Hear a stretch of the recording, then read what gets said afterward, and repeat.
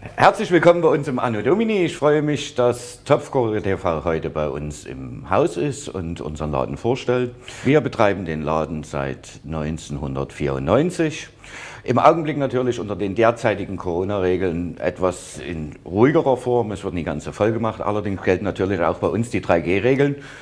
Gefressen, gesoffen, gefeiert. Wir haben, wo wir damals aufgemacht haben, nach Originalrezepturen versucht zu kochen ich wollte ja alle nie essen.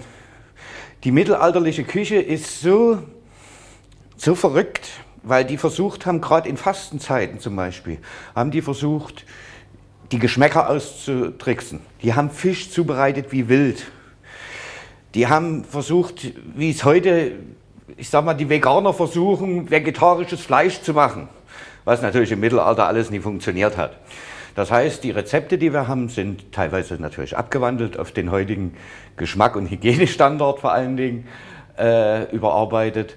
Oh, allerdings gibt es bei uns keine Sachen, die es im Mittelalter nicht gab. Also bei uns hier im Innenraum gibt es weder eine Cola noch Kartoffel oder sonst irgendwas, sondern wirklich nur Sachen, die im Mittelalter tatsächlich auch vorhanden waren.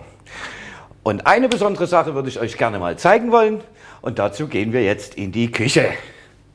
Alle Gastgeber und Rezepte unter www.topfgucker-tv.de